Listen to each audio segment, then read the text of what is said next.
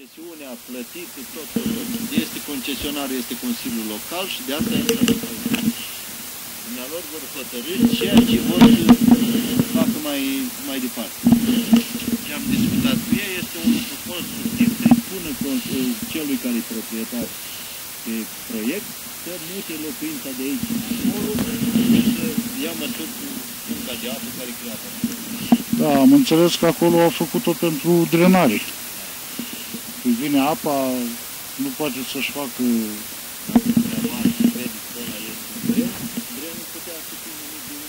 de aici așa acolo, cu acordul celorlalți, să aibă descărcare. Acolo este o pungă imensă de apă, v-am spus, dacă calculați 12 cu 12 și adâncimea de 4 metri, vedeți ce pungă de apă imensă. Iar cu cei care au discutat aici, le-au spus clar, ce faci 4 neați de pește, dacă tot iasă apă, interesează. Nu, ceea ce a făcut acolo este făcut fără autorizație, are, are autorizație de construcție pentru o clădire, pentru drum, i s-a pus la dispoziție tot ce trebuia. Acolo este făcut fără acordul Consiliului Local și este o încălcare a legii. Am spus, l-am adus Consiliul aici să ia măsurile care se impun. Eu sunt doar cel care am... Terenul tot este ăsta ce se vede sau? Da, da, 5.000 și ceva. Este cel împrejmuit, deci nu are. Cu cale de acces asigurată, cu izvor de apă aici. Problema este că nu a anunțat Consiliul Local pentru lucrările conform contractului și aici au greșit pentru că cu siguranță nu, nu l-ar fi lăsat nimeni din Consiliu să facă acea groapă imensă acolo și a creind o pungă de apă. Implicit și un pericol pentru cei care stau în aval. Practic de aici au și plecat că cei nou oameni care mai locuiesc în satul ăsta au sesizat, mai ales sunt vreo cinci implicați acolo, ce facem cu punga aia de apă când va veni ploile masive aici. Deci au existat sesizări din cetățeni. Dar noi nu venim, nu controlăm, nu așa ceva, avem alte treburi mai importante, nu umblăm prin păduri, la... Închipuiți-vă că am fost sesizați. Noi trebuie să respectăm orice fel de sesizare, chiar dacă este anonimă, chiar dacă e telefonică, noi trebuie să o verificăm, mai ales că era implicit un sat izolat. Am venit imediat aici, au venit doamna inginieră de la urbanism, domnul, cu domnul secretar. La două zile am venit și eu și am adus la cunoștință Consiliul Local.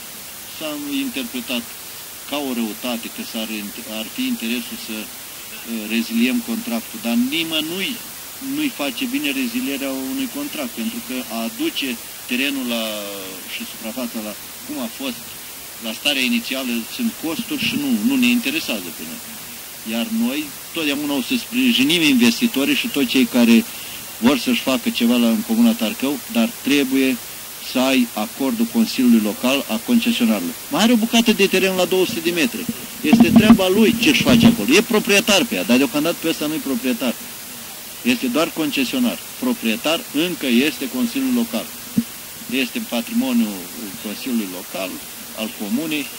Nu este niciun fel de, de treabă, nici politică, nici personală, absolut nimic. Se interpretează, dar cu asta rămân. Eu cel puțin sunt obișnuit cu așa ceva. Foarte bine că au venit Consiliul Local, parte din ei, și îi aștept să văd ce vor scrie, că trebuie să-i dăm răspunsul celui care trebuie să continue. Da. Nu s-a sesizat deocamdată nicio instituție, nu este încălcare gravă, pentru că uh, are autorizație, are toate avizele, fără nicio problemă. Problema este să dea explicații de ce a creat acea pungă de, de apă acolo, așa, imensă și periculoasă. I s-a recomandat să, în 10 zile, să aducă terenul la stare inițială și putea continua. Versiunea doamnei este că apa de acolo să o folosească la construcție, da, la betoane. Uitați izvor mare avem aici, curat. Dacă vrem construi, uitați-l după acolo. E foarte mare. Dacă cineva, un constructor, poate să pună apa aia în beton, atunci eu mă duc pe lume. Da, în fine. N-aveți pentru ce să mai facă. Am înțeles le dau fonduri de la mediu și probabil de acceptat o soluție tehnică. Sunt specialiști și în primărie, și proiectari, și urbanism. Sigur că da, că nu Și externă. Cum ne-am adus expert? Deci la, la cererea doamnei s-a constituit comisia de constatare, bănuiesc. Disponibil la momentul respectiv. Consiliul Local n-a vrut să desemneze acea comisie și au venit tot. Am convocat Consiliul Local tot aici.